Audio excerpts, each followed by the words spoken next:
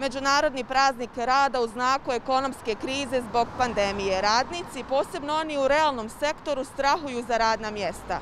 Zbog pandemije koronavirusa u Federaciji Bosne i Hercegovine bez posla je ostalo više od 35.000 radnika.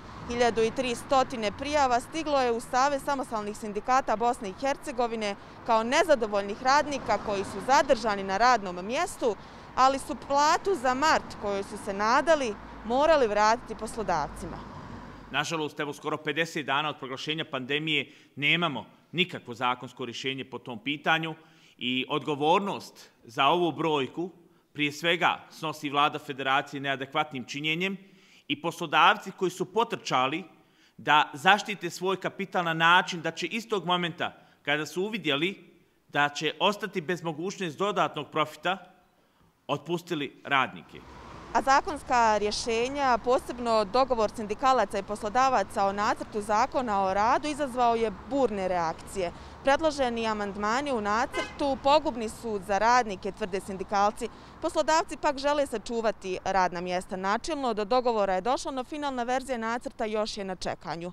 Otežavajuća okolnost je razjedinjenost unutar krovnog sindikata ta razjedinost sindikata traje baš kako ste rekli godinama i mislim da jeste najveći razlog zbog kojeg stanje radničkih prava jeste na tom nivou. Ko zastupa prava radnika, mislim da onako individualno svaki sindikat za onaj dio članstva za kojeg nadležno oni zastupaju, što je jako pogrešno, naravno jer na taj način nemamo snagu koja mislim da baš sada u ovo doba pandemije nam je neophodno. Od prilike od 510 trenutno, oko 510.000 radnika je angažano odnosno na ugovore o radu, dok od 350.000, znači prilike negdje oko 360.000 nije sindikalno angažovano.